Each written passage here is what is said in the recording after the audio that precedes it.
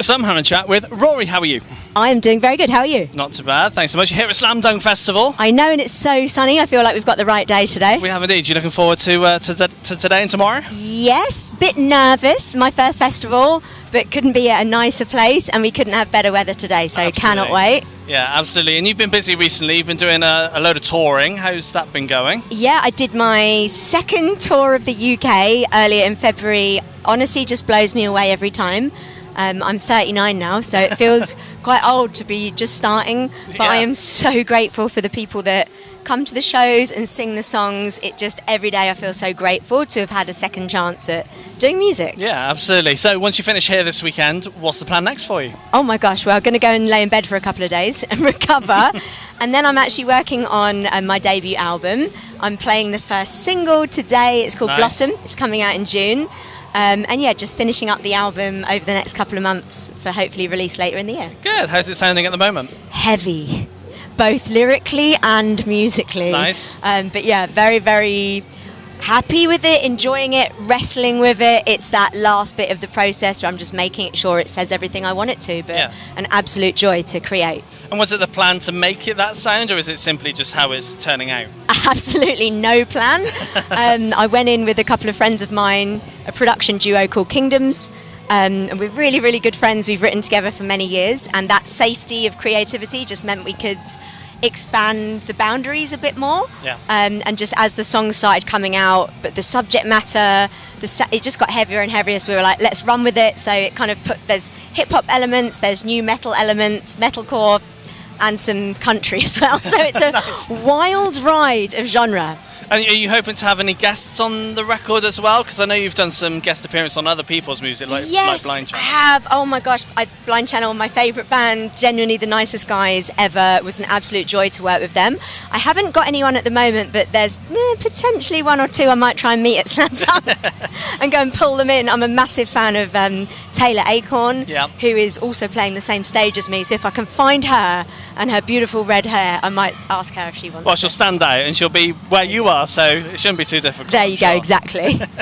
Um, now, when it comes to writing, how, how do tracks normally start off for you? For me, it's normally a title. Um, well, actually, no, it's a chaotic emotion first Yeah. that I'm struggling to process with. And then I will sort of just think about that feeling and try and express it in terms of a title. So, for example, the track that I'm singing today, my new single is called Blossom. So I got that word, and it was about I want a song about almost dying and being buried alive and feeling like you're not going to make it through, but actually then like blossoming and it's okay, kind of representing coming through dark times. And then when I've got the title, um, I actually do something really weird, which is I just sit down with YouTube uh, beats and instrumentals, Yeah. and I listen to tracks I used to love, and I'll try singing little hooks over instrumentals, um, and then I'll voice record that, and then I'll go in the studio and play all of those, and it's manic and a mess, but sometimes something beautiful comes out of it. Nice, nice, excellent. Um, you must have some aspirations of things you want to achieve in music. Can I tell you the truth? I don't. Okay.